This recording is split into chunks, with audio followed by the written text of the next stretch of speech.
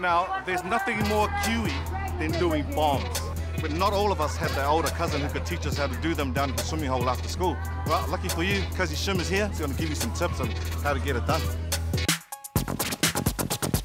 Oh, uh, maybe not me. Kia ora, my name's DJ, aka Baby Red. Baby Reed wants to countdown from five, everybody. So a staple is pretty much going like, you go flat and mid until you hit the water, then just, you just pull in, it's normal like stapler. Looks like that, you know?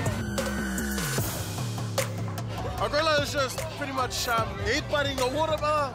It's like a dive, so it's like pretty much diving in.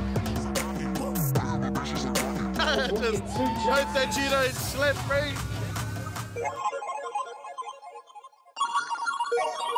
A manu is just when you lay on your um, lower back, your backbone, and your tailbone, yes, pretty much. Go like this while you're going down.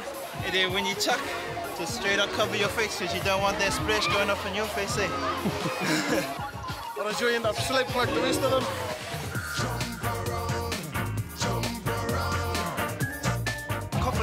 When you uh, land feet first, and manage is when you land ass first too. That's the big difference. If you're not um, confident of doing a backflip or shooting star, don't do it, brothers. That's just gonna, that's just gonna make you scream. it's not about showing off. It's, it's about having fun, eh? Got community, have a good time with your family and stuff. And just to have a good holiday.